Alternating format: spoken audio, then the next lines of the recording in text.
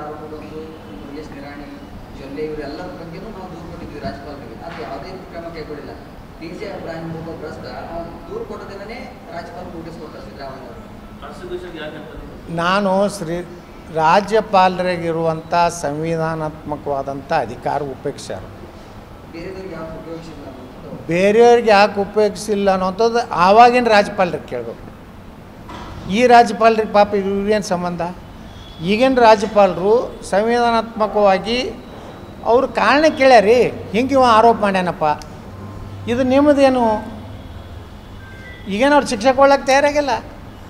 ಸಿದ್ದರಾಮಯ್ಯನವರು ಸರಿಯಾಗಿ point to point ಉತ್ತರ ಕೊಡಬೇಕಾಗಿತ್ತು. ನಾ ಇದ್ರಾಗ ಭ್ರಷ್ಟಾಚಾರ ಅಲ್ಲ, ಅದು ನಮ್ಮ ಕುಟುಂಬದವ್ರು ಮಾಡಿದ್ರೆ ನನ್ನ ಸಂಬಂಧ ಇಲ್ಲ, ಏನು ಅವ್ರಿಗೆ ವಕೀಲರು ಹೇಳ್ತಾರಲ್ಲ, ಮೊದಲು ಕೊಡಬೇಕಾಗಿತ್ತು. ರಾಜ್ಯಪಾಲರಿಗೆ ಅಧಿಕಾರ ಇದೆ. ಅವ್ರಿಗೆ ಅಧಿಕಾರ ಇದೆ.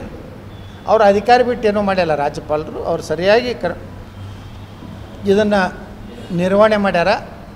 ರಾಜ್ಯಪಾಲರು ಒಬ್ಬ ದಲಿತರಾದ ಅಂತೇಳಿ ಆ ದ್ವೇಷದಿಂದ ಸಿದ್ದರಾಮಯ್ಯವರು ಹೇಳ್ತಾ ಇದ್ದಾರೆ ಈಗ ನಾನು ಹತ್ತೀನಿ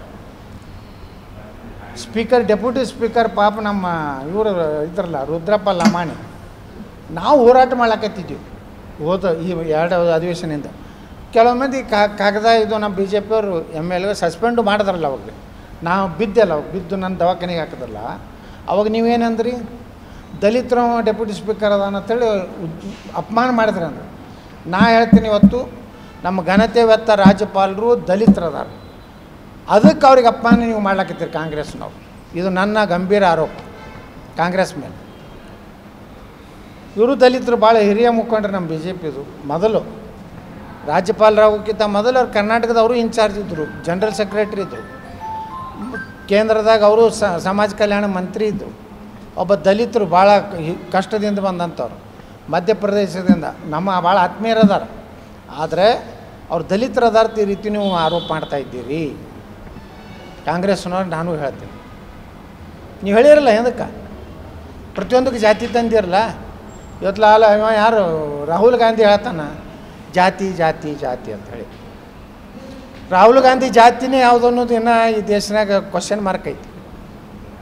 ಯಾವ್ಯಾವ ಸಮ್ಮಿಶ್ರ ಇದು ಆಗಿ ರಾಹುಲ್ ಗಾಂಧಿ ಉತ್ಪಾದನೆ ಆಗಿತ್ತು ಅನ್ನೋದೇ ಒಂದು ಕ್ವಶನ್ ಮಾರ್ಕ್ ಐತಿ. ಮತ್ತೊಬ್ಬರ ಜಾತಿ ಬಗ್ಗೆ ಕೇಳ್ತಾನೆ. ನಿನ್ನೆ ಭಾಳ ಚರ್ಚೆ ಆಗಿದ್ದ ಲೋಕಸಭಾದಾಗ. ಎರಡು ಯೂನಿವರ್ಸಿಟಿ ಒಳಗೆ ಮುಸ್ಲಿಂ ಯೂನಿವರ್ಸಿಟಿಯಾಗ ದಲಿತರ ಮೀಸಲಾತಿನೇ ಕೊಟ್ಟಿಲ್ಲ. ಇದಕ್ಕೇನು ಕಾಂಗ್ರೆಸ್ ಹೇಳ್ತಾರೆ? ದಲಿತರ ಬಗ್ಗೆ ಮಾತಾಡ್ತಾರೆ. ಈ ರೀತಿ ದಲಿತರನ್ನ ಒಂದು ರೀತಿ ತಮ್ಮ ಹೆಂಗೆ ಬೇಕಂಗೆ ಉಪಯೋಗ ಮಾಡ್ಕೊಂಡಾರೆ.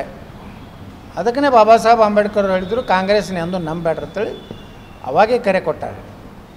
ಅದಕ್ಕೆ ಕಾಂಗ್ರೆಸ್ನವ್ರಿಗೆ ನನಗೆ ಅನ್ನಿಸ್ತದೆ ಕರ್ನಾಟಕದಲ್ಲಿ ಅಧಿಕಾರ ಮುಂದುವರಿಯುವಂಥ ನೈತಿಕ ಹಕ್ಕಿಲ್ಲ. ಪಾಪ ವಿಜಯೇಂದ್ರ ಬರೇ ಸಿದ್ದರಾಮಯ್ಯ ರಾಜೀನಾಮೆ ಕೇಳಕತ್ತಾನ. ನಾನು ಇಡೀ ಸಿದ್ದರಾಮಯ್ಯನವ್ರ ಸಚಿವ ಸಂಪುಟ ವಿಸರ್ಜನೆ ಮಾಡಿ ಕರ್ನಾಟಕ ವಿಧಾನಸಭೆ ಚುನಾವಣೆ ಆಗಲಿ. ಬಿ ಜೆ ಪಿಗೆ ಹೊಸ ರಾಜ್ಯಾಧ್ಯಕ್ಷ ಬರಲಿ.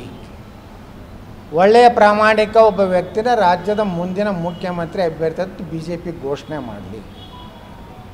ಇದು ನನ್ನ ಆಗ್ರಹ ಐತಿ. ನಮ್ಮ ಹೈಕಮಾಂಡ್ಗೂ ಆಗ್ರಹ ಐತಿ ಕಾಂಗ್ರೆಸ್ಗೂ ಆಗ್ರಹ ಐತಿ.